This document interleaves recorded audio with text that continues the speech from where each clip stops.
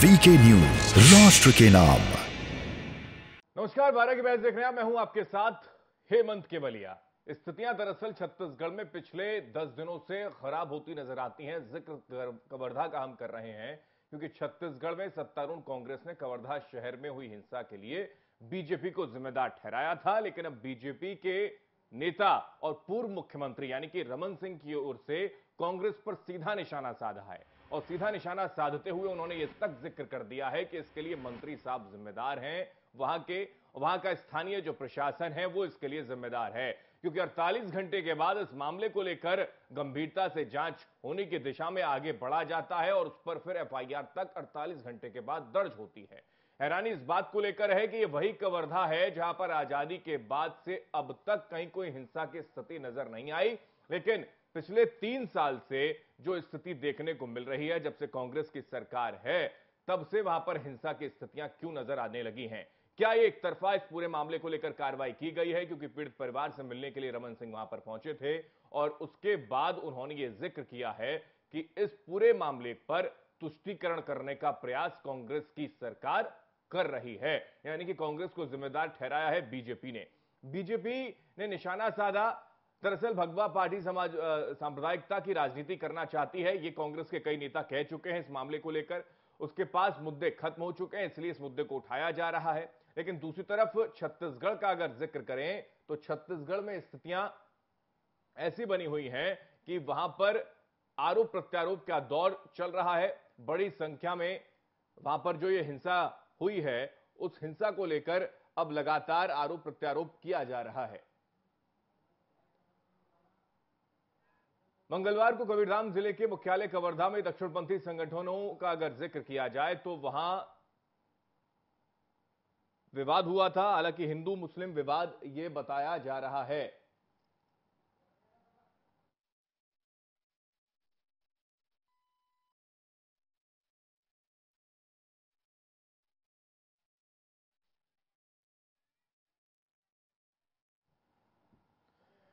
तो कवर्धा में जो स्थितियाँ दरअसल बनी, उसको लेकर अब सवाल खड़े होने शुरू हो गए। मंत्रियों के दबाव में क्या निर्णय लिया गया? प्रशासन पीड़ितों से अगर बात करें, प्रशासन जो है, वो एक तरफा कार्रवाई कर रहा है। ये ज़िक्र रमन सिंह की तरफ़ से किया गया है। पहले क्या कुछ रमन सिंह ने कहा है, वो सुना देते हैं कि क्या आरोप उनकी तरफ़ से लगाए गए हैं सत्ता पक्ष के लोगों को लेकर, वहाँ के मंत्री को लेकर और स्थानीय प्रशासन को लेकर। क्या कहा रमन सिंह ने? सुनिए। जवाबदार यदि कोई है तो वहाँ के मंत्री जिसकी वजह से ये परिस्थिति छत्तीसगढ़ में और कवर्धा में खास तौर से निर्मित हुई कि पाँच से दस हज़ार लोग अचानक शहर में आए और विरोध प्रकट किया। और उसका कारण बहुत सिंपल है। कारण ये है कि भगवा ध्वज को पैरों से कुचला जा रहा था। दुर्गेश नाम के युवक ने उसका विरोध किया।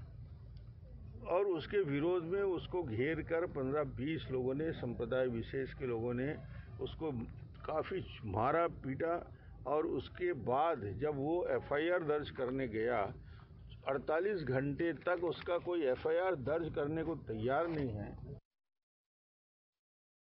चालीस घंटे बीत जाते हैं, कोई एफआईआर दर्ज होती नहीं और इस पूरे मामले को लेकर अगर हम ज़िक्र करें, यानी कि बीजेपी का कहना है कि अगर हम इसको उठाने का प्रयास करें तो हमको वहाँ पर, उस जगह पर जाने से रोका जाता है। और अगर इस पर कहीं कोई ज़िक्र कर दिया जाए तो ये कह दिया जाता है कि आप तो राजनीति कर रहे हैं। हालाँकि इस मामले में स्थितियाँ ऐसी भी हैं कि वहाँ के जो स्थानीय सांसद हैं, उन पर भी मामला दर्ज हुआ है।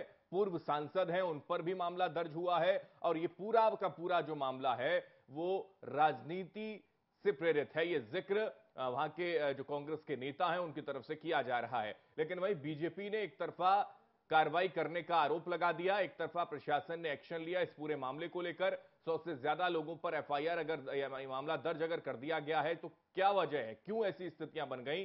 और वहीं, अगर झंडे को लेकर विवाद हुआ था और इसने किसी ने शिकायत करने की कोशिश की तो 48 घंटे के बाद एफआईआर दर्ज क्यों होती है? वो शख्स एक गायब जो है, उसको लेकर क्या कोई जानकारी प्रशासन अभी तक देने को तैयार नहीं है? ये तमाम तरीके के सवाल हैं जो हर किसी के जहन में आ रहे हैं। इसी पर चर्चा करने के लिए कुछ खास मेहमान हमारे साथ हैं। सीधा उनका रुख करते हैं। संदीप त्रिपाठी जी कांग्रेस के नेता हमारे साथ जुड़ गए हैं और संदीप दुबे जी हमारे साथ बीजेपी से जुड़ गए हैं। आरपी उपाध्याय जुड़ेंगे कुछ देर में। वरिष्ठ पत्रकार और पुष्कर त्यागी जी हिंदुवादी नेता हमारे साथ कुछ देर में जुड़ेंगे। संदीप त्रिपाठी जी, सीधे पूर्व मुख्यमंत्री रमन सिंह की ओर से कह दिया गया है कि एक तरफा प्रशासन ने कार्रवाई की है। 48 घंटे के बाद तो एफआईआर तक दर्ज होती है, ये तो स्थितियाँ बन गई हैं वहाँ पर। और माहौल ऐसा है कि आज़ादी के बाद पहली बार वहाँ स्थितियाँ बिगड़ी। इसके लिए स्थानीय प्रशासन और सरकारी तंत्र जिम्मेदार। देखिए, पहली बात तो दो घटनाएँ हुई है। भाजपा इस बात को गुमराह करने का प्रयास न करे। ये घटना तीन तारीख को हुई है। और दोबारा हिंसा होती है पाँच तारीख को। एक एफ़ आई आर तीन तारीख को है एक एफ़ आई आर पाँच तारीख को है। हम्म, इसलिए गुमराह करने का प्रयास न करें कि अड़तालीस घंटे के बाद एफआईआर हुई है पहली बात तो ये जान लीजिए। हम्म, दूसरी बात आप कह रहे हैं कि भाजपा के हमारे पूर्व मुख्यमंत्री ही कह रहे हैं कि पाँच छह हज़ार लोग बाहर से आए। तो बाहर से जो लोग आए जिन्होंने बुलाया उन पर एफआईआर हो रही है अगर घटना प्रायोजित है तो भाजपा के पेट में दर्द क्यों हो रहा है? हम्म, असल बात में रमन सिंह जी जो किसी हिंदू के लिए या किसी समुदाय के लिए नहीं आए हैं वो उनके बेटी पर एफआईआर दर्ज हो गई है इसलिए वो आए। आप समझिए इतने दिन तक सोते रहे सोते रहे जब घटना का पटाक्षेप प्रशासन ने किया और उनके बेटे पर स्वयं एफआईआर हो गई तब उन्हें लगा कि अरे भाई अब चला जाता है अब जो है आप आपके ही चैनल पर मैंने डिबेट की थी कि भाई ये आपका स्वागत है। लेकिन तब तक नहीं आते हैं। जब इनके बेटे पर स्वयं एफ़ दर्ज हो जाती है जो कि उसमें जो है इन्वॉल्व है और इसको जानने के लिए ज़्यादा सबूत की ज़रूरत नहीं है। आप उनके ट्विटर हैंडल पर चले जाइए अभिषेक सिंह जी के रमन सिंह जी के लड़के पर। उन्होंने एक वीडियो डाला है खुद ही पता चल जाएगी घटना प्रायोजित है या नहीं है उनका इन्वॉल्वेशन है या नहीं है। वो खुद ही इस तरीके से जिस तरीके से भड़का रहे हैं लोगों को जो भड़काने का प्रयास कर रहे हैं तो ज़ाहिर सी बात है कि उनका हाथ है और अगर जो है उनको न्यायपालिका पर भरोसा है तो अगर प्रशासन ने मुकदमा दर्ज किया है तो न्यायपालिका का आप सामना करिए।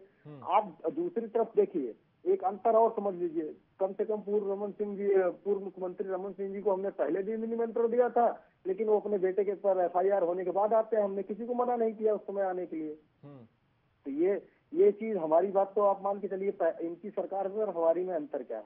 दूसरी बात आप कह रहे हैं कि ये हिंदू बनाम मुस्लिम हम्म, बनाने का प्रयास जो कर रही है भाजपा पहली बात तो ये सरासर गलत है। 600 साल पहले कबीर पंथ की स्थापना हुई है। यह विवाद कबीर पंथियों और सनातन धर्म के लोगों के कुछ जो भड़का जो भाजपा के एजेंट है जिनका काम ही रहा है पूर्व में दंगा कराना और इस तरह की साजिशें रचना उन्होंने उनके द्वारा ये तो प्रायोजित घटना बीजेपी है। के नेता अगर ऐसा काम। करते हैं संदीप जी तो क्यों नहीं जेल में डाल देते उन लोगों को? किस चीज़ का इंतज़ार करते हैं कि तो दंगा भड़के फिर सौ लोगों के को, को गिरफ़्तार कर लिया जाए एक विशेष समुदाय के लोगों पर प्रभाव डालने का प्रयास किया जाए? क्यों नहीं बीजेपी के नेता अगर तो गुंडई कर रहे हैं अगर सांसद साहब जो कि पूर्व मुख्यमंत्री के बेटे हैं अगर वो गुंडई कर रहे हैं वो भड़का रहे हैं तो पकड़िए ना उनको घर से उठा लीजिए और जेल के सलाखों के पीछे डाल दीजिए। पहली पहली बात तो पंचायत करने की आवश्यकता नहीं होगी शायद। ले लीजिए कि विशेष समुदाय के लोग। उसमें दोनों समुदाय के लोग हैं पहली चीज़ जान लीजिएगा। ये ये आपका कहना सरासर गलत है। हम्म। ये भाजपा कहे तब तो अच्छा लगता है लेकिन आप स्वतंत्र पत्रकार हैं। आपका कर्तव्य है सच्चाई मैं के मैं सिंपल सी बात कर रहा हूँ तो आपको उसमें बुरा लग जाता है। मेरा सिंपल सवाल है। आपने कहा कि रमन सिंह के बेटे दंगा भड़काने का प्रयास कर रहे थे जेल की सलाखों के पीछे डाली उन्हें। क्यों नहीं हुआ एक्शन बताइए जवाब दीजिए। बिल्कुल गिरफ्तारी होगी। इंतज़ार करिए। कब होगी सर? बिल्कुल गिरफ़्तार कब होगी। फिर आप कह देते हैं लखीमपुर खीरी को लेकर मंत्री के बेटे को पकड़ा नहीं। वो तो गिरफ़्तार हो गया। पकड़िए ना। समस्या क्या है? मैं जवाब दे देता हूँ। बिल्कुल जवाब दे देता हूँ। देखिए अभी आप हेमंत जी ने पहली बात तो आपने कहा कि एक विशेष समुदाय के लोगों को ही गिरफ़्तार किया गया है। पहली बात तो ये सरासर गलत है। जो सौ लाख सौ लोग गिरफ़्तार हुए हैं उसमें दोनों समुदाय के लोग हैं पहली बात। दूसरी बात आपने कहा कि रमन सिंह और जो भी चौदह लोगों के भाजपा के नेताओं के नाम आए हैं जिसमें प्रदेश मंत्री से लेकर एक सांसद संतोष पांडे जी से लेकर अन्य लोग हैं उनकी ही गिरफ्तारी सुनिश्चित होगी। उनके खिलाफ खिलाफ एफआईआर दर्ज हुआ वो भी जाँच के बाद हुआ है। और उसकी सारी उस घटना की सारी वीडियो क्लिपिंग वगैरह सब कुछ मीडिया के बीच में कांग्रेस ने देने का काम किया है कुछ छिपाने का काम नहीं किया। पहली बार हम स्वयं आकर मीडिया के सामने सारी जो है जो भी फुटेज थी सब कुछ था वो मीडिया को हमने दिया है। हम घटना को छिपाने की कोशिश अगर कर रहे होते अगर हम में चोर होता तो हम ज़ाहिर सी बात है कि निष्पक्ष कार्रवाई जैसे चाहिए अच्छे प्रशासन को वो काम करने का काम करेंगे और ये गिरफ़्तार होंगे इसमें कोई दो राय नहीं है। रमन सिंह चाहे जितना पूरे मामले को लेकर रमन सिंह तो कह रहे हैं कि न्यायिक जाँच होनी चाहिए। उस पर तो कोई रिएक्शन आपने दिया नहीं। ठीक है संदीप जी लौट रहा हूँ आपके पास। संदीप दुबे जी बीजेपी से हमारे साथ जुड़ गए हैं। संदीप दुबे जी, उस वक्त भी यही स्थिति थी कि क्या ये माहौल खराब करने की दिशा में पूरा मामला निकलकर सामने आया है, जिसमें रमन सिंह कह रहे हैं कि पिछले आज़ादी के बाद ऐसी स्थितियाँ कभी नज़र नहीं आई, लेकिन जब से सरकार कांग्रेस की बनी है, तब ये स्थिति हो गई। देखिए मेरे कांग्रेस के साथी बार बार विषय की अज्ञानता जब वो बोल रहे हैं तो उससे झलकता है कि उनको वहाँ के विषय के बारे में नहीं पता। देखिए वहाँ भोरम देव एक होगा, दर्शनीय स्थल है और वहाँ दर्शन करने के लिए लोग आए थे और जो लोग दर्शन करने के लिए लोग आए थे उनको भी जेल के अंदर डाल दिया गया। देखिए आप किस तरह की कौन से कानून मंदिर में व्यवस्था की दर्शन बात करने कर आए थे जरा बताएँगे? और आप संदीप जी मेरी बात पूरा हो जाने दीजिए आपको आपका अवसर आएगा क्योंकि हम तो लोग बता ऐसे दीजिए ऐसे जगह जुड़े हैं शायद मैं आपकी बात उधर से सुन नहीं पा रहा हूँ तो इको होगा मैं अपनी पूरी बात कह दूँ फिर आप अपनी बात जब कहेंगे तो अपने समय पे अपनी बात रखिएगा नहीं तो गलत हो जाएगा। तो जो कवर्धा में आज की स्थिति है उसको ये साफ़ साफ़ झलक आता है कि वहाँ जिन हम लोगों ने कहा बार बार और बार बार कह भी रहे जिस पीड़ित परिवार से हमने हम लोग मिले हैं वो एक दुबला पतला लड़का है दुर्गेश देवांगन। मैं तो नाम भी ले रहा हूँ संदीप जी को चाहिए कि वो नाम लिख लें। तीस से चालीस लोगों ने उसको घेर कर वहाँ पीटा है और जो पिटाई खाया उसी के खिलाफ तीन तीन आपने एफआईआर दर्ज कर दी है। जो कसूरवार लोग हैं उनको आप खुले में घूमने दे रहे हैं उनको आपने छोड़ दिया। और उस लड़के की सिर्फ़ इतनी गलती थी कि उसके ध्वज का अपमान उसके आँखों के सामने हो रहा था उसने उसे रोकने का प्रयास किया। तो अगर इस तरह के विषय को आप बढ़ाने की कोशिश कर रहे हैं सरकार को इसमें क्या फ़ायदा मुझे नहीं पता। लेकिन पुलिस को ये सोचना चाहिए कि जो लोग मारपीट कर रहे हैं उनके खिलाफ कार्रवाई आप नहीं कर रहे हैं। और जो। सीधे साधे लोग हैं जो वहाँ दर्शन के लिए आए हैं उनको आप उठा के जेलों में डाल रहे हो दर्शन करने से रोक रहे हो वहाँ पे 144 लगा रहे हो। तो इस तरह की जो स्थिति आपने प्रदेश में पैदा की है इससे तो साफ़ साफ़ ज़ाहिर होता है कि वो सरकार पूरी तरह से असफल है और छत्तीसगढ़ को चला पाने में प्रदेश को चला पाने में बिल्कुल नाकारा सरकार है नागवारा सरकार है और पुलिस के लोगों पे भी जाँच होनी चाहिए। क्योंकि जिस तरह से वहाँ घटना को अंजाम दिया है वो साफ़ साफ़ दिखता है कि सरकार के इशारे पे वहाँ की जो कांग्रेस की सरकार है आज उसके इशारे पे इस तरह की घटना हुई है। तो हम तो बार बार कह रहे हैं। संदीप जी को भी इस बात में कोई दिक्कत नहीं हुई हमारी कांग्रेस के साथी को। इसकी जुडिशियल इंक्वायरी होनी चाहिए। और हाँ। जो लोग भी दोषी हैं आप हज़ार लोगों की सूची बना के बैठे हैं जो दर्शन करने आए थे। जो दर्शन करने आए थे उनकी क्या गलती है? जो लोग आतंक फैलाए जिन्होंने आतंक फैलाने का प्रयास किया उनके खिलाफ आपने आज तक एक भी मामला दर्ज नहीं किया। और आज पूरी कवर्धा जो है पूरी क्षेत्र में अशांति का माहौल है बवाल है और पुलिस एक तरफा कार्रवाई कर रही है। इसका नतीजा है कि वहाँ पे अशांति है। मैं तो कांग्रेस के साथी मित्र और कांग्रेस के सरकार से कहूँगा कि अगर आप राजनीति नहीं कर, बेहतर कर सकते हैं घटना का आप राजनीतिकरण कर रहे हैं और जो जिस तरह से आप वहाँ पे इंक्वायरी सेटअप किए मजिस्ट्रेटियल जाँच कर रहे हैं उससे हम लोग असंतुष्ट हैं। हम चाहते हैं कि वहाँ जुडिशियल इंक्वायरी आरोप संदीप की पर भी लग रहा है। संतोष पांडे का ज़िक्र है एफआईआर उन पर भी दर्ज हो गई संदीप दुबे जी। एक और चीज़ कांग्रेस के साथी मुख्यमंत्री के बेटे रमन सिंह के बेटे। हैं, उनको तत्काल आप रिहा करिए। तत्काल रिहा करिए दंगा भड़काने का प्रयास किया, ये कह रहे हैं गलत। लोगों को जेल में डाला है? दंगा भड़काने का काम तो पूर्व मुख्यमंत्री के बेटे ने किया वो कह रहे हैं सोशल मीडिया के माध्यम से।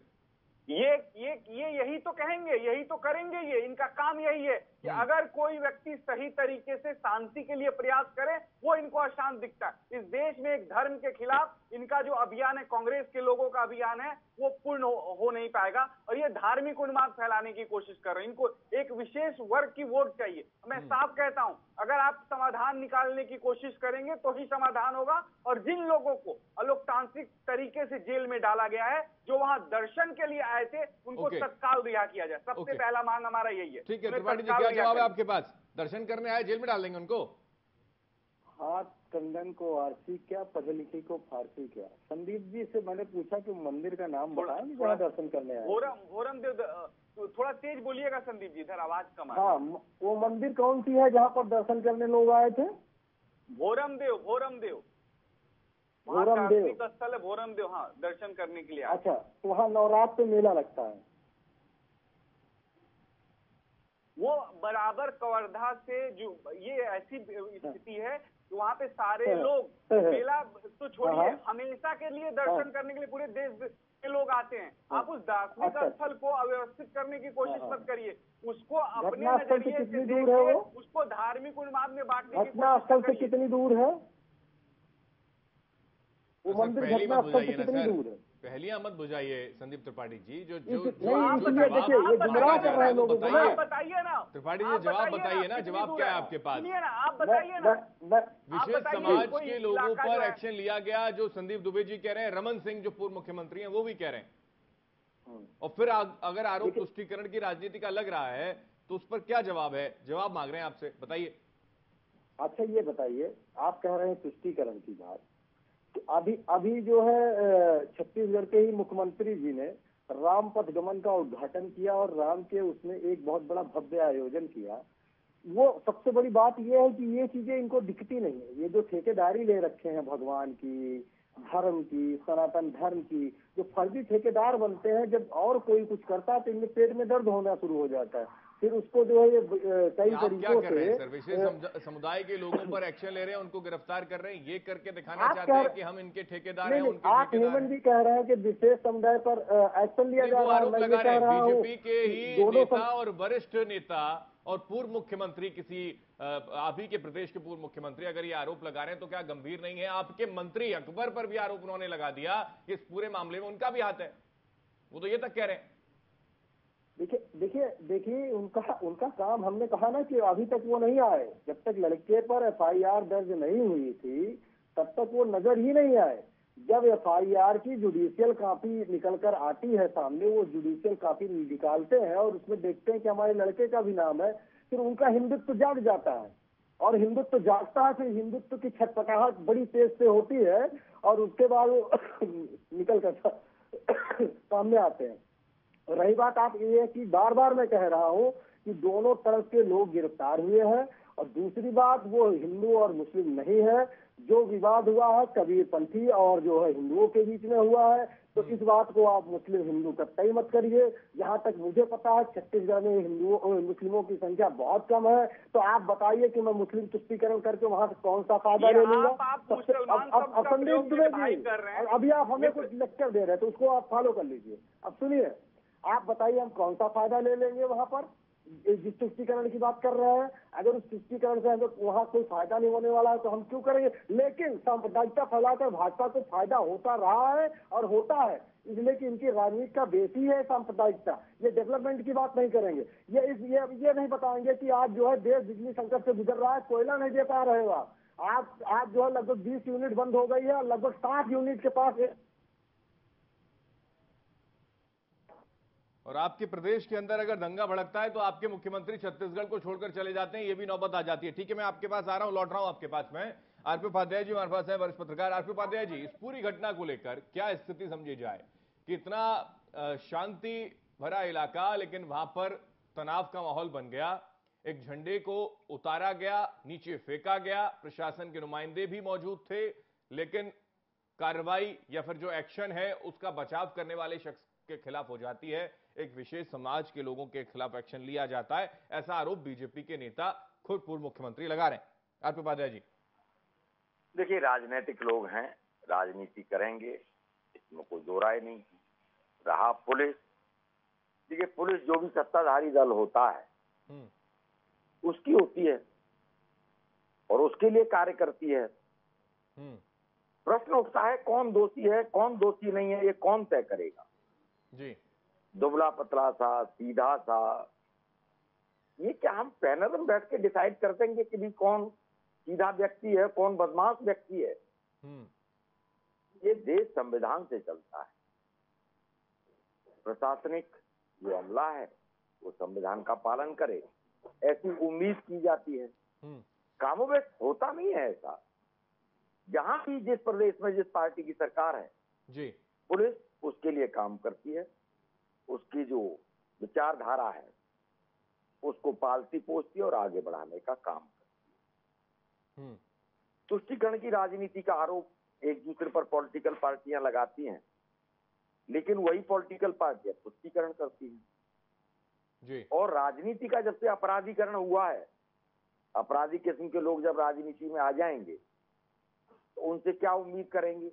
हम्म, मैं नहीं कह रहा हूँ आंकड़े बताते हैं जिस तेज़ी के साथ राजनीति का अपराधीकरण हो रहा है अपराधी के पीछे लोग आ रहे जी जी।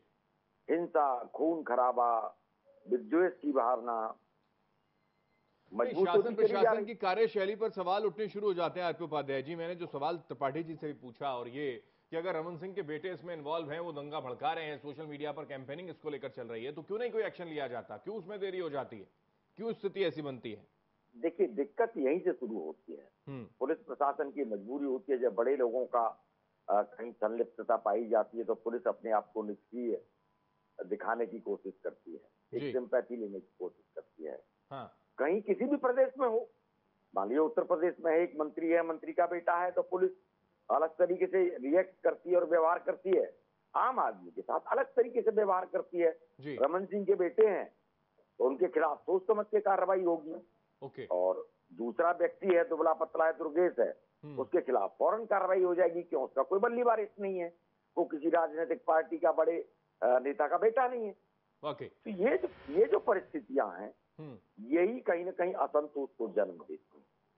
बिल्कुल। और फिर और उस पर सवाल जब खड़े होते हैं तो फिर जवाब ना ही सत्ताधारी दल के पास होता है और ना ही विरोध में बैठे हुए नेताओं के पास होता है क्योंकि यही तो फ़र्क है आम और खास के अन- अ, के बीच में। हिंदुवादी नेता पुष्कर त्यागी जी हमारे साथ हैं। पुष्कर जी क्या माने जो कार्रवाई की गई जिस पर असंतोष है वहाँ की विपक्षी दल यानी कि बीजेपी पार्टी उसमें आप भी अ, अ, कहते हैं कि हाँ वाकई वहाँ पर कार्रवाई सही तरीके से सही दिशा में हुई नहीं? नहीं बिल्कुल नहीं हुई है श्रीमान। मैं आपको बता दूँ कार्यवाही तो जब ही होगी ना अब आप देखिए उत्तर प्रदेश में महाराज जी का जलवा आप देखिए। यहाँ पे नेता का बेटा अ, काम करता है तो वो तुरंत अरेस्ट हो जाता है। और वहाँ पे रमन सिंह का बेटा करता है तो वो कोई उसकी गिरफ्तारी नहीं है। मैं सख्त आपको बताना चाहता हूँ और पूरे कांग्रेस नेताओं को बताना चाहता हूँ जब तक रमन सिंह के बेटे की गिरफ्तारी नहीं होगी तो जब तक हिंदूवादी संगठन एक है और वहाँ पे पूरा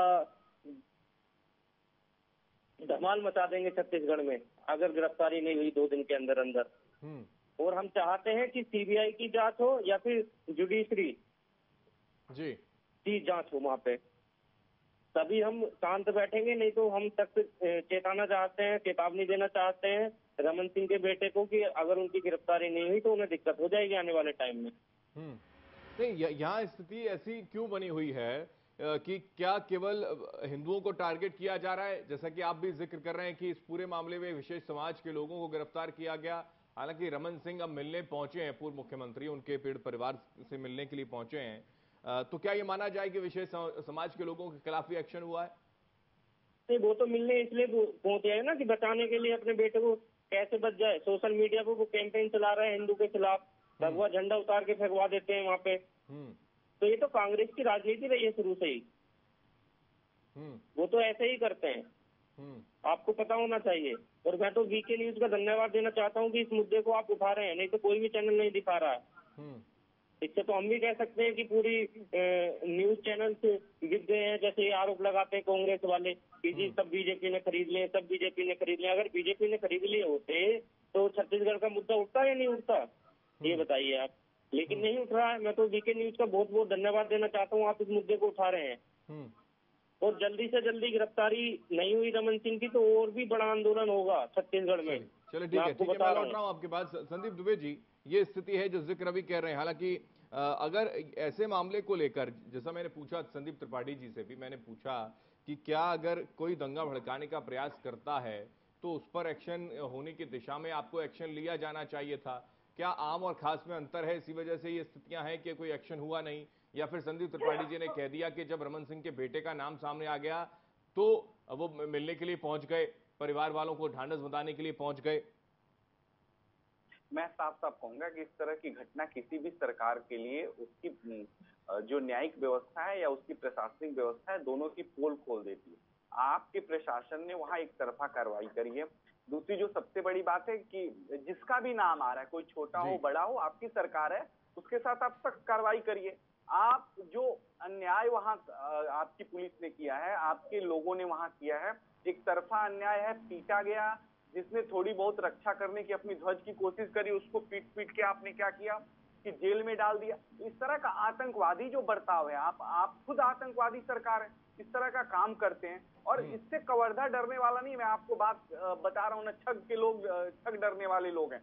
मैं सिर्फ़ इतना कहता हूँ कि जिस हिसाब से दर्शन करने गए हुए लोगों को इन्होंने पकड़ के जेल के अंदर डाला है उनको तत्काल छोड़ा जाए। अगर उनकी उनको तत्काल नहीं छोड़ा गया जिस तरह से गैर जिम्मेदाराना गिरफ्तारी हुई है सरकार ने चुन चुन के लोगों को गिरफ़्तार किया उल्टा पीटने वालों को छोड़ रखा है जिन्होंने मार पिटाई करी है तो ऐसी सरकार निकम्मी सरकार को बने रहने का कोई हक नहीं है। दूसरी सबसे बड़ी बात है आप किसी का भी नाम ले लीजिए कोई बेटे का नाम ले लीजिए आपकी सरकार है साहब आप इस तरह बातें कह के आप अपनी काम से अपनी कार्रवाई से अपनी ज़िम्मेदारी से मुकर नहीं सकते।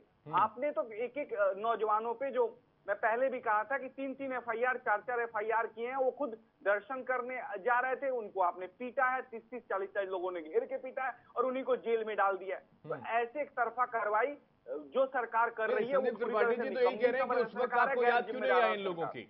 जब आपके बेटे के खिलाफ एक्शन हो जाता है वहाँ पर स्थानीय सांसद महोदय के खिलाफ एक्शन हो जाता है तब आपको याद आती है। देखिए ये कांग्रेस पार्टी की गैर जिम्मेदाराना बयान है।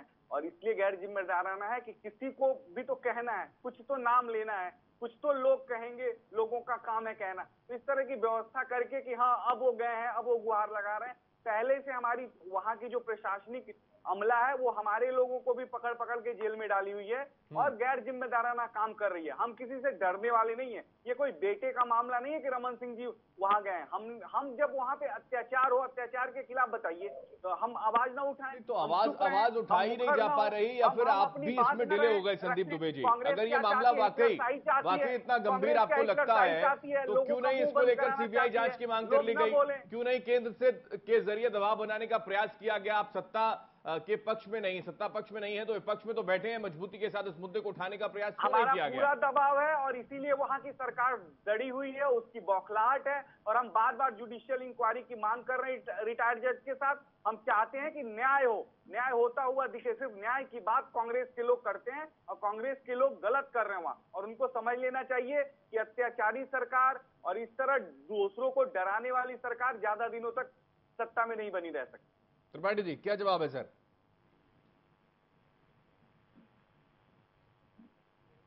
संदीप भाई की आवाज़ कम आ रही है उनको बोलिए जी संदीप त्रिपाठी जी आवाज़ मिल रही है आपको? चलिए ठीक है मैं आपके पास लौट रहा हूँ। आरपी उपाध्याय जी हमारे साथ बने हुए हैं। आरपी उपाध्याय जैसे कि आपने ज़िक्र किया और खास में साफ़ अंतर नज़र आ जाता है जब कार्रवाई होती है तो आम के ऊपर बड़ी जल्दी एक्शन ले लिया जाता है लेकिन इस मामले को किस तरीके से समझा जाए और देखा जाए जो ज़िक्र रमन सिंह की ओर से भी किया गया कि अड़तालीस घंटे हो गए, एफआईआर तक दर्ज होती नहीं है ऐसे गंभीर मामले को लेकर। अड़तालीस घंटे के बाद एफआईआर दर्ज होती है। और ये स्थिति भी बनती है कि वहाँ पर विशेष समुदाय के लोगों पर एक्शन ले लिया जाता है। सौ लोगों को गिरफ़्तार करके जेल की सलाखों के पीछे डाल दिया जाता है। इसको कैसे समझा जाए कि क्या वाकई किसी की ओर से वहाँ पर शांति को भंग करने का प्रयास किया गया? अगर कोई इसके लिए इसमें इन्वॉल्व है तो एक्शन क्यों नहीं लिया गया?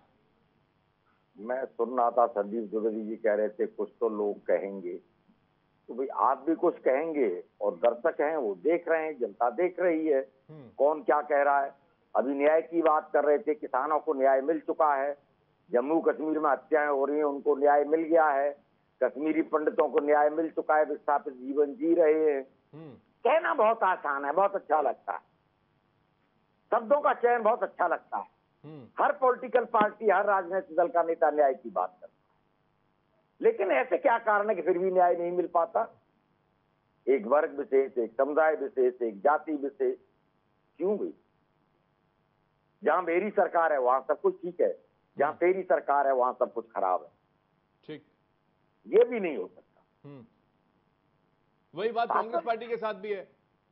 हर एक पार्टी मैं किसी एक पार्टी की बात करी नहीं। हम्म।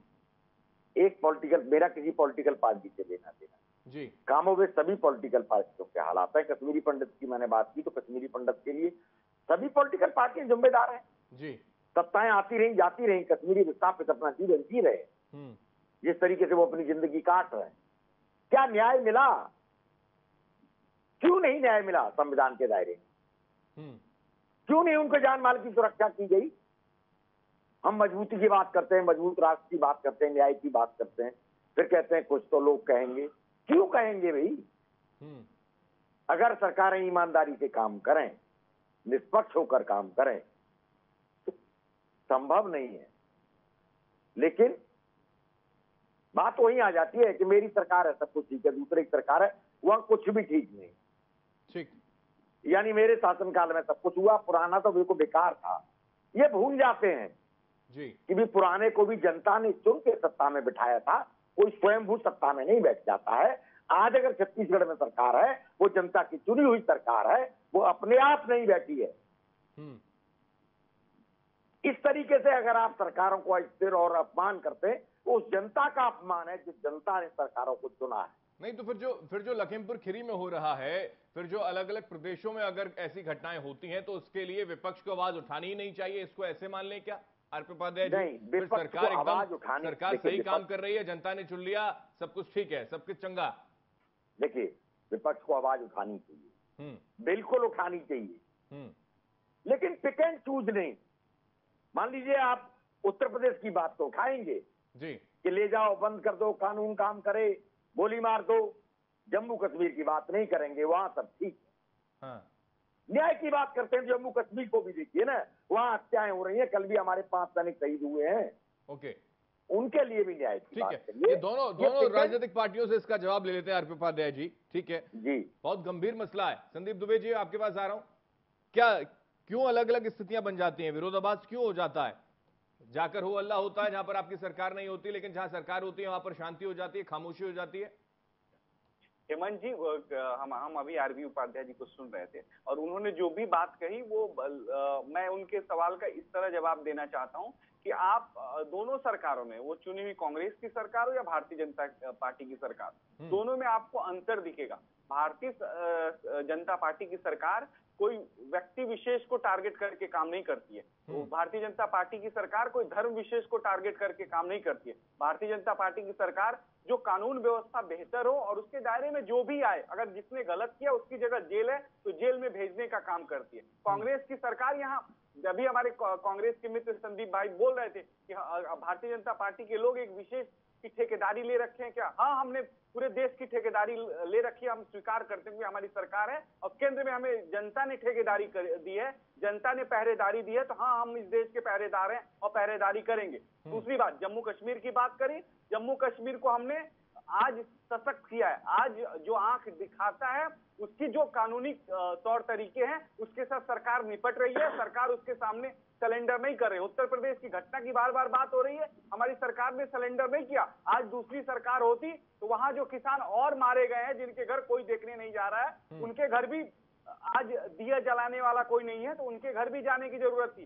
तो आपस में विवाद तब हो जाता है जब आप एक जगह तो दूसरी बात करते हैं और खुद जब अपनी पड़ती है तो आप अपनी बातों से मुकर जाते हैं ठीक और है, लोगों त्रिपाठी को जी, क्या जवाब है आपके पास? आज तो लखीमपुर खीरी में सब कुछ गड़बड़ है, लेकिन छत्तीसगढ़ में सब कुछ ठीक है। कौन तय करे ये कौन तय करेगा कि कौन सरकार अच्छा काम कर रही है कौन सरकार ठीक काम नहीं कर रही है? ये कौन तय करेगा क्या पॉलिटिकल पार्टियाँ तय करेंगी क्या हम पैनलिस्ट बैठकर तय करेंगे? जनता और जनता की अदालत का फैसला गलत होता है क्या? जब आप उसको सशक्त करेंगे आरवी उपाध्याय जी जाँच आयोग तय करेगी प्रशासन के लोग तय करेंगे। प्रशासनिक अमला अगर आपकी सरकार के कहे पे चलेगी तो आज जो कांग्रेस छत्तीसगढ़ में फेल हो रही है उसका पूरा सबसे बड़ा उदाहरण यही है कि कांग्रेस वही बात तो आरपी उपाध्याय जी ने की संदीप दुबे जी की जो सरकार है उसी के नक्शे कदम पर प्रशासन काम करता है। उत्तर प्रदेश में भी वही हो रहा होगा और छत्तीसगढ़ में भी शायद वही हो रहा होगा। त्रिपाठी जी अपनी बात रखते हैं उसके बाद। जी। पहली बात लखीमपुर की घटना छत्तीसगढ़ की घटना की संदीप भाई आप आपकी आवाज़ नहीं आ रही है तो आप थोड़ा अच्छा से बोलिए। संदीप भाई आवाज़ नहीं आ रही है आप माइक संदीप त्रिपाठी जी आवाज़ आवाज़ मिल रही है आपको? चलिए लगता है संपर्क उनसे प्रॉपर नहीं है, उनकी आवाज़ प्रॉपर क्लियर हम तक नहीं पहुँच पा रही है। लेकिन दुबे जी, वापस वही बात जो आरपी उपाध्याय जी कह रहे हैं कि आपने यही कहा कि सरकार जहाँ काम कर रही है, जनता ने उनको चुना, लेकिन स्थितियाँ ऐसी बन जाती हैं कि प्रशासन जो है वो सरकार, सरकारी तंत्र के दबाव में काम करता है। वही लखीमपुर खीरी में हुआ, जिसका ज़िक्र किया जा रहा है विपक्षी पार्टी के नेताओं की ओर से। और वही आप भी कह रहे हैं, छत्तीसगढ़ के अंदर बैठकर के प्रशासन के दबाव में एक तरफा कार्रवाई कर दी। रमन सिंह ने वो कह दिया। हेमंत जी बहुत आसान है क्योंकि आरोप लगाना बहुत आसान है लेकिन जो आप आरोप लगता है उसका स्पष्टीकरण भी तो सरकार को ही देना है। मैं आरबी उपाध्याय जी के बात से सहमत हूँ कि भाई ठीक है प्रशासन के में बैठे हुए लोग पुलिस पुलिस प्रशासन के लोग उनकी ज़िम्मेदारी सरकार के प्रति होती है और सरकार का दबाव भी होता है कि वो बेहतर ढंग से काम करें। दोनों में आपको अंतर दिखेगा। उत्तर प्रदेश में जो लखी जो घटना हुई है उस घटना में आपको अंतर दिखेगा कि सरकार के आदेश के बाद वहाँ गैर जाति नहीं हुई है। जिसने जो गलती करी उसकी सजा उसको मुकर्र कर, करी जाएगी। हमने तुरंत न्यायिक आयोग बैठाया रिटायर्ड जज की कमेटी बैठाई काम हो रहा है। वहाँ देख लीजिए जो वहाँ मंदिर में पूजा करने लोगों को पकड़ पकड़ के पीटा गया और उनको जेल के अंदर डाल दिया गया। दोनों में अंतर है। जाति साफ़ साफ़ दिखती है अंतर साफ़ साफ़ दिखता है। पुलिस के लोग काम करने का तरीका भी अलग अलग दिखता है। तो आप कम से कम ये समझिए ना कि हम सबके अच्छे और बुरे कर्म से हमारा राष्ट्र प्रभावित होता है। हम सबको मिलकर बेहतर करने की ज़रूरत है। आपकी अगर सरकार है अपनी प्रशासनिक अमला को ठीक करिए। कम से कम ये देखिए कि किसी किसी ऐसे व्यक्ति के साथ अन्याय न हो जिसने गलती नहीं करी है। आपने जो गलती नहीं करा उसको तो जेल में डाल दिया। पीटने वाले लोग बाहर घूम रहे हैं। वो आपके साथ हैं। वो आप कह रहे हो कि वो सही कर रहे हैं। और आप हमारे पूर्व मुख्यमंत्री के बेटे को भी आपने घसीटा है नाम लिया। अगर वो इतने ही गुनाहगार हैं तो उनको भी जेल में डाल दीजिए ना। क्यों नहीं आप डाल रहे हैं आप सिर्फ़ बात बना रहे हैं और ये बात से काम नहीं चलने वाला है। आपकी सरकार पूरी तरह से फेल हो गई त्रिपाठी जी जवाब दे रहे जवाब दीजिए त्रिपाठी जी। कहिए।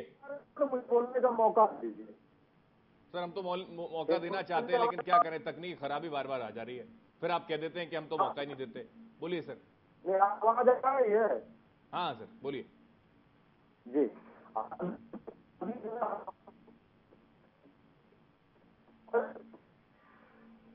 समस्या यही है सर, कांग्रेस के साथ।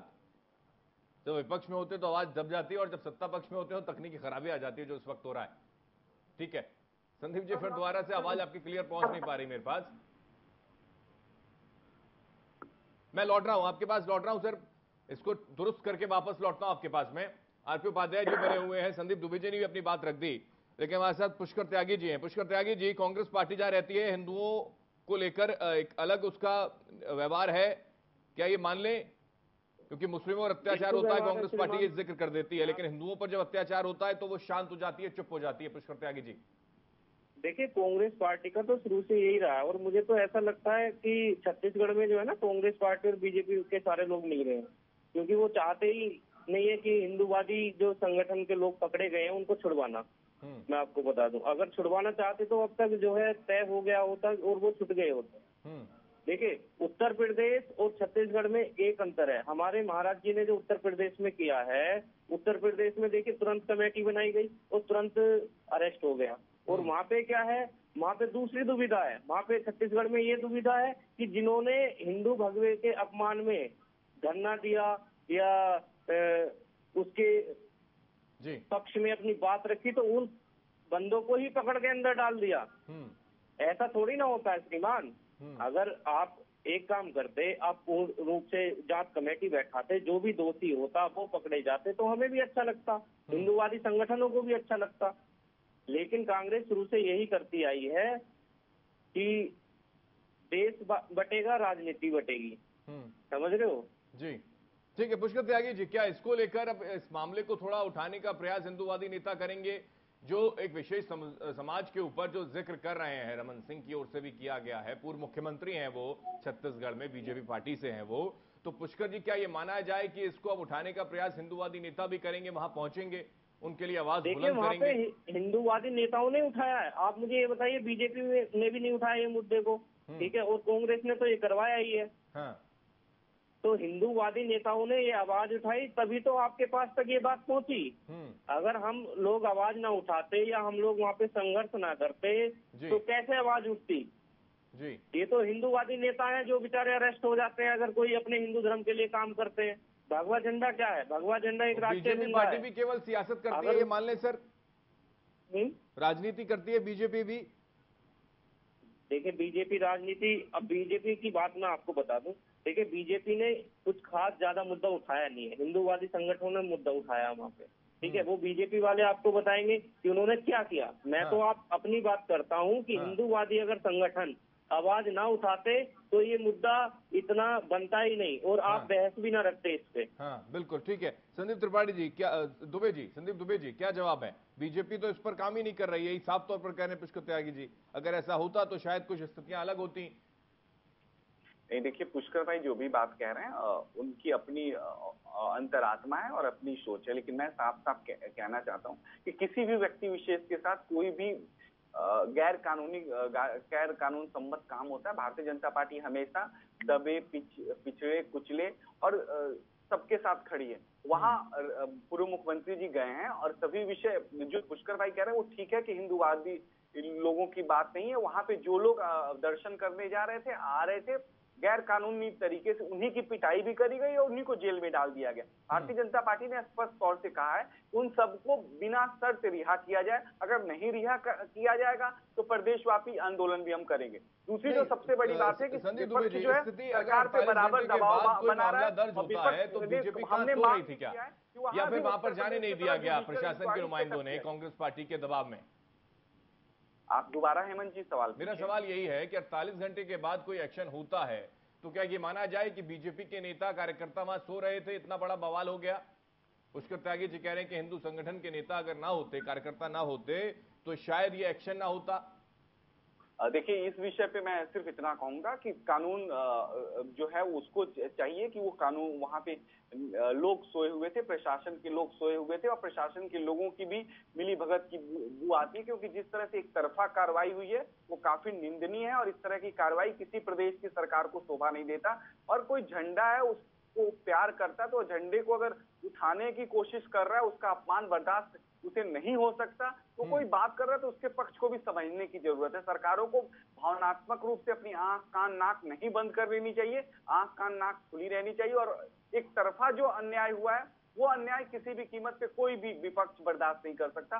मैं साफ़ साफ़ कहूँगा कि वहाँ की सरकार को जिनको उन्होंने सबका विकास का ज़िक्र आपके नेता देश के प्रधानमंत्री भी करते हैं लेकिन एक विशेष समुदाय का ज़िक्र जब होता है तो वो आपसे जुड़ जाता है। वो समाज आपसे जुड़ जाता है संदीप जी। और उसकी फिर आशा और ज़्यादा आपसे जुड़ जाती है, जैसा कि पुष्कर त्यागी जी भी कह रहे थे। वो अलग बात है कि बीके न्यूज़ ने इस पूरे मुद्दे को प्रमुखता से उठाया और यही वजह है कि उसके बाद सड़कों पर हिंदुवादी नेता भी उतरे और वहाँ जाकर प्रदर्शन होने की नौबत आई वहाँ पर। लेकिन हैरानी इस बात को लेकर है कि बीजेपी इसको लेकर गंभीरता से आगे बढ़ी नहीं। नहीं, हेमंत जी, हम हम बिल्कुल गंभीर हैं और सबसे बड़ी बात है, इसकी गंभीरता का दर्शन इस तरह से हो सकता है क्योंकि जैसे ही वहाँ पे इस तरह की घटना हुई, सरकार ने वहाँ पे एक 144 भी लगा तो हम नहीं चाहते थे कि हमारे ऊपर ऐसा कोई लांछना लगे कि कहे कि हाँ भारतीय जनता पार्टी भी वही है जो कांग्रेस करती है। उत्तर प्रदेश में जिस तरह से कांग्रेस ने निकम्मापन किया हमने कहा बेहतर ढंग से जाँच होनी चाहिए। लेकिन आज हम जाँच से खुश नहीं है और हम चाहते हैं कि वहाँ पे एक न्यायिक बनने के बाद उस पे धारा एक त्वरित सौ कार्रवाई अगर हो लगी हो और अगर नहीं होता है तो हम कर रहे लेकिन अब जो हो रहा है उसको राजनीति ना समझे क्या? क्योंकि कांग्रेस तो यही कह रहे हैं कि अब राजनीति की जा रही है। जब आपके बेटे यानी कि रमन सिंह के बेटे के ऊपर एक्शन हो गया तो अब बीजेपी पार्टी को याद आ गई पूर्व मुख्यमंत्री को याद आ गई। अब जो हो रहा है वो राजनीति नहीं है क्या? हेमंत जी एक्शन कि, किसके बिहाफ पे होता है? कोई एफआईआर हो कोई उन्होंने गलत काम किया हो आपके खिलाफ सबूत हो तो आपकी पुलिस है वो तो भागे नहीं है। आप उनको गिरफ़्तार करिए पूछताछ करिए किसने रोका हुआ है?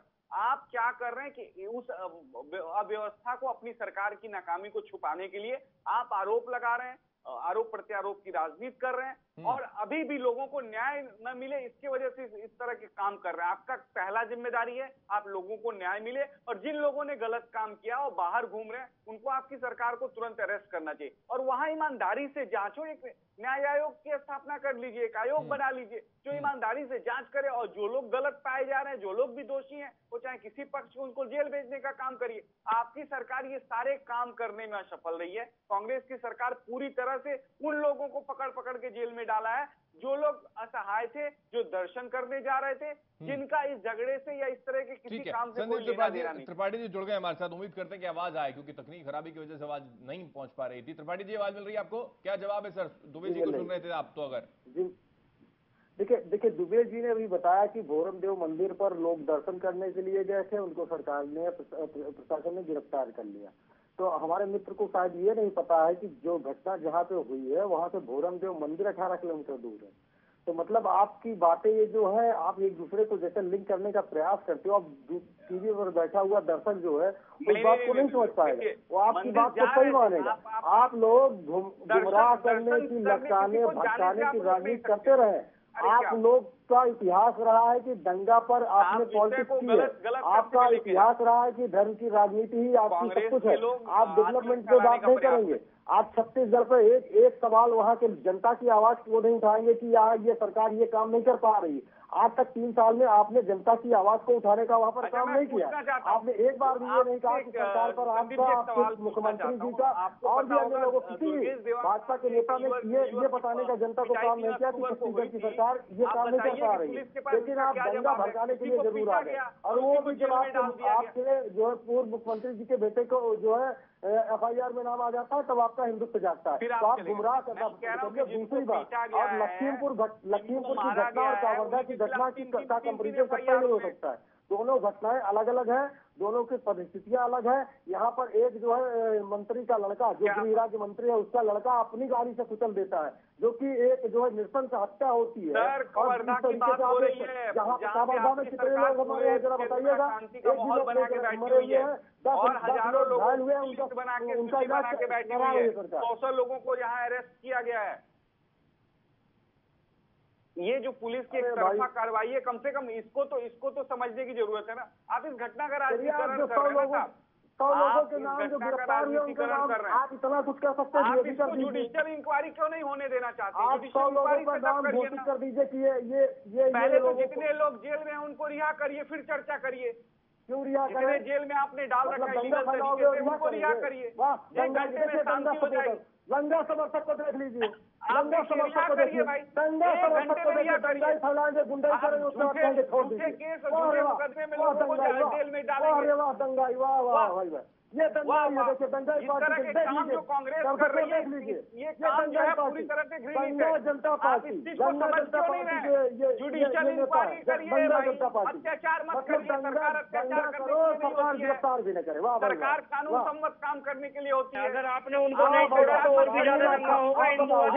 तो कानून आप जुडिशियल इंक्वायरी करिए। क्यों कर? रहे? ना। आप अगर आपको लगता है कि वो लोग निर्दोष है कोर्ट में सुधर दीजिए खुला लीजिए सरकार है मना किया आपको? कोर्ट में ओके। ओके संदीप त्रिपाठी जी तो जुडिशियल कार्रवाई से क्या कोई कोई परहेज है सर? दे रहे हैं जो आपके हिसाब से ओके त्रिपाठी जी जुडिशियल कार्रवाई से कोई परहेज आ जाता है क्या सर? उत्तर प्रदेश में आप न्यायिक जाँच की मांग कर देते हैं और वही न्यायिक जाँच की मांग अगर बीजेपी पार्टी के नेता कर रहे हैं तो करवा दीजिए ना सर उनकी संतुष्टि के लिए। दूध का दूध और पानी का पानी हो जाएगा। अगर उस न्यायिक जाँच में पूर्व मुख्यमंत्री के अगर बेटे भी होंगे त्रिपाठी जी तो उन पर भी एक्शन हो जाएगा। सुन लीजिए हाँ बिल्कुल मैं जवाब दे देता हूँ। हाँ। देखिए अभी न्यायिक जाँच की मांग तब उठना शुरू हुई। अभी तक कोई नहीं मांग किया है। पहली बात मान के चलिए। या कोई बयान हो मुझे बता दीजिए। हम्म। जब न्यायिक जाँच की मांग तब मुख्यमंत्री पूर्व मुख्यमंत्री कर रहे हैं सर। न्यायिक जाँच की मांग। के लड़के का नाम आ गया। अगर आपको ये लग रहा था अभी तक कि ये कार्रवाई उचित नहीं हो रही है। तो हम्म। आप एक एक नेता का बयान बता दीजिए इसके पहले की उसने न्यायिक जाँच की मांग की हो। आज आप मांग कर रहे हो हम बिल्कुल करा देंगे। इंतज़ार करिए न्यायिक जाँच तो वही तो मैं भी मैं वही वही मैं भी कह रहा हूँ ना सर। अभी तक पूर्व मुख्यमंत्री के बेटे का नाम नहीं था। अब जब नाम आ गया तो न्यायिक जाँच की मांग अगर कर भी रहे हैं तो आप न्यायिक जाँच करवा दीजिए। दूध का दूध पानी का पानी हो जाएगा। जो आरोप आप लगा रहे हैं उनके बेटे पर वो सीधे तौर पर साफ़ हो जाएगा कि हाँ उनका बेटा शामिल था। वो उपद्रव करवाने के लिए वो जिम्मेदार है वो भड़काने के लिए दंगा भड़काने के लिए जिम्मेदार है। सलाखों के पीछे डालिए। क्यों खींचते हैं आप लोग? केवल राजनीति के लिए? नहीं नहीं नहीं मैं हेमंत जी मैं देखिए जो स्पष्टीकरण की कांग्रेस की है उसी की वजह से लोगों के मन में आक्रोश है। और ये समझने की कोशिश नहीं करें संदीप दुबे जी अपने भूपेश बघेल जी का तो आलम ऐसा है त्रिपाठी जी जब ये घटना कवर्धा में हो रही थी तो वो लखीमपुरी उनको याद आ रहा था। पंजाब के किसान उनको याद आ रहे थे। अपना घर बचाने की दिशा में कोई आगे अगर उन्होंने ये काम कर दिया होता तो सौ लोग एक समाज के गिरफ़्तार ना होते और उस पर हम डिबेट ना कर रहे होते यहाँ पर बैठकर। वहाँ पर स्थिति को कंट्रोल कर लिया होता तो शायद ये स्थिति ना होती। एक डर और भय का जो माहौल वहाँ पर बन गया है, मंदिर में दर्शन करने वाले लोग पहुँच रहे हैं, उनको हिरासत में लिया जा रहा है, उनको गिरफ़्तार किया जा रहा है, ऐसी स्थिति ना आती, जो संदीप दुबे जी कह रहे हैं। देखिए संदीप दुबे जी कह रहे हैं लेकिन आप मत कहिए जैसे तो मैंने पहले बता दिया है कि जिस मंदिर की बात कर रहे हैं वहाँ से वो सत्रह किलोमीटर दूर है ना वो रास्ते में है ना वो उस रूट पर है अरे भाई तो वो ठीक है सर आपकी बात मान लेता हूँ लेकिन कवर्धा में बता दीजिए मेरे को कब कर्फ्यू लगा? अरे कवर्धा में इससे पहले कब कर्फ्यू लगा बता दीजिए। पहली बात तो कवर्धा में कब कवर्धा में ऐसी स्थिति आ गई बता दीजिए आप। इतना समय पहली बात तो जया हो गया। अब मुझे बोलने नहीं देंगे तो क्या कैसे मैं सर सवाल ही तो पूछ रहा हूँ आपसे। मैं हाँ, ये तो पूछ रहा हूँ तो कि कवर्धा में अगर ये शांति भंग हुई है सर सवाल पूछिए। मैं तो उससे पहले कब हुई। उससे पहले कब हुई थी? वो डेट मेरे को बता दीजिए आप। क्या फिर से सवाल पूछ कवर्धा में शांति भंग अगर हुई है वहाँ पर माहौल खराब हुआ है तनाव अगर बढ़ा है इससे पहले कब हुआ ऐसा ऐसी स्थिति? ये पूछना चाह रहा हूँ आपसे मैं। जी आ, मैं जवाब दे देता हूँ आपका। अभी आपने कहा कि कावर्धा में ये स्थिति कब हुई? अगर मैं यही परख कर सवाल आपसे पूछ लूँ कि उन्नीस सौ बानवे के पहले बताइए अयोध्या में कब राइट हुआ था जंगल राइट? जवाब है आपके पास? नहीं है। वहाँ पर भी इन्होंने किया था यहाँ पर भी इन्होंने किया था। वहाँ पर आज तक दंगे सर अब फिर मेरा वो सवाल आएगा आप क्या बीच में इंटरप्ट कर रहे हैं? अरे वहाँ पर भी किया था तो वहाँ पर भी एक्शन हो गया। यहाँ पर भी कर लो तो यहाँ पर भी एक्शन करवा दो ना इनको सलाखों के पीछे डालिए ना अगर ये उन्माद पैदा करते हैं अगर ये कोई माइलेज देते हैं कोई तुष्टिकरण का प्रयास करते हैं तो इनको भेजिए सलाखों के पीछे। किसने रोका है? आपकी सरकार है आपका प्रशासनिक अमला है। करिए रमन सिंह के बेटे के खिलाफ कार्रवाई। हाँ तो हाँ बिल्कुल। कार्रवाई होगी अभी आपने न्यायिक जाँच की बात उतारा। मैं मैं कांग्रेस पार्टी के बिहार पर भाजपा को एक एक चीज़ सौंप के जा रहा हूँ एक ज़िम्मेदारी। आप न्यायिक जाँच में कौन सा आप रिटायर्ड जज की बात कर रहे हैं? हम रिटायर्ड जज की बात ही नहीं कर रहे हैं। आप जो है जो सिटिंग जज है उस जज का नाम दे दीजिए और जो अधिकारी आप चाहते हो उनका नाम दे दीजिए। हम हम मैं आपको चैलेंज के साथ कह रहा हूँ कि कांग्रेस के उसको अ, पता नहीं है कि न्यायिक जाँच के लिए जो कमेटी बनती है वो सुप्रीम कोर्ट या हाई कोर्ट के आदेश पे वहाँ बनती है। उसके लिए सरकार तुरंत कमेटी को के बनाए कमेटी बनाए। वहाँ कमेटी का में मॉनिटरिंग करें स्टूडेंट। हाई कोर्ट वहाँ। मोदी हाई कोर्ट का यूनिवर्सिटी से जस्टिस हाई का हाई आपको कोर्ट का जस्टिस देखिए आप मैं साफ़ कहता हूँ कांग्रेस समर्थक और एक वर्ग विशेष के लोगों को जो वहाँ है। का प्रावधान है ये तो कांग्रेस की सरकार ये काम चलिए ओके अब वक्त की कमी आखिरी कमेंट मैं सभी से लेता हूँ एक बार ओके ठीक है। आरपी उपाध्याय जी आखिरी कमेंट आपसे। उसके बाद पुष्कर जी आपके पास आ रहा हूँ। ओके उसका वो राजनीतिक फ़ायदा उठा देखिए हेमंत जी इसमें कोई दो राय नहीं है। हिंदुओं के प्रति नज़रिया अलग है दूसरे वर्गों के प्रति नज़रिया अलग होता है। हाँ। मैंने देखा है प्रैक्टिकली देख लीजिए कौन बात करता है मुस्लिम का नाम भी नहीं लेंगे आप। वहाँ नाम लेंगे तो आप क्रिमिनल हो जाएँगे। ये कम्युनल अपने अपने तरीके से परिभाषाएँ दबे कुचलों की बात करते हैं प्रशासन को ये करना चाहिए छत्तीसगढ़ बर्बाद हो गया। अरे भाई कहाँ बर्बाद नहीं हो रहा? हर जगह। और इसी का परिणाम है आप देखेंगे जो ज़मीन से जुड़े मुद्दे हैं बेरोजगारी है महँगाई है शिक्षा है स्वास्थ्य है रोज़गार है पूरी जनता को सिर्फ़ इसी मुद्दों पर उलझा के रखिए आप। मंदिर पर अटका दीजिए मस्जिद पर अटका दीजिए। और देखिए इसमें मुझे मानने में कोई गुरेज मैं बिल्कुल भी गुरेज नहीं करता हूँ कि जहाँ एक संप्रदाय विशेष के लोग होते हैं हम्म, वहाँ पुलिस प्रशासन और कानून सब बौना नज़र आता है। जी। चाहे वो कश्मीर हो चाहे किस देश का कोई दूसरा प्रांत हो वहाँ ठीक है ठीक है ठीक है पुष्कर त्यागी जी आखिरी कमेंट देखिए हेमंत जी मैं आपको बता दूँ। देखिए जो हमारे भाई साहब बोल रहे हैं कि मतलब महँगाई के मुद्दे पर और नौकरी के मुद्दे पर ऐसा नहीं है। जब हमारा राष्ट्र बचेगा ही नहीं तो इनका हम करेंगे क्या?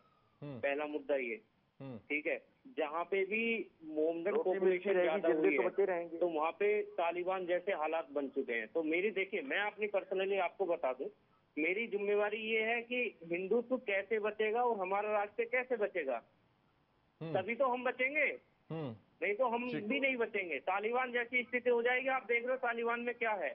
और ये लोग क्या है भगवा झंडा उतार रहे हैं और कार्यवाही भी उन पे ही कर रहे हैं जो भगवा झंडा लगाने में लगा रहे हैं। उन पे ही कार्रवाई दोबारा हो रही है। धर्म के नाम पर इसी तरह। करने की बात किया करता था।